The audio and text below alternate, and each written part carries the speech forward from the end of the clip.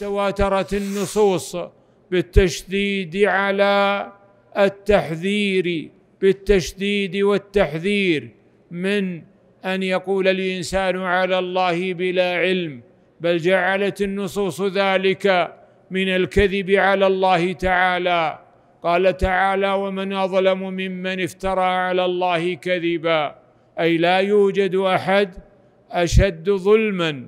من أولئك الذين يكذبون على الله.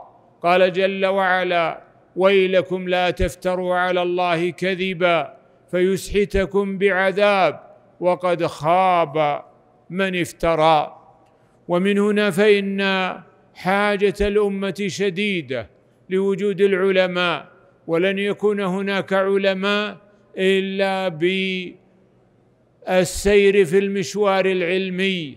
بطلب العلم وتدرج فيه والانتقال من مرحلة إلى مرحلة. لقد جاءت النصوص ببيان مكانة العلماء ورفعة درجتهم. يقول تعالى قل هل يستوي الذين يعلمون والذين لا يعلمون؟ ويقول جل وعلا يرفع الله الذين آمنوا منكم والذين أوتوا العلم درجات. ولذا أمر الله جل وعلا بالرجوع إليهم وسؤالهم عما يشكل في دين الله. قال تعالى فاسألوا أهل الذكر إن كنتم لا تعلمون. وقال تعالى فاسأل به خبيرا.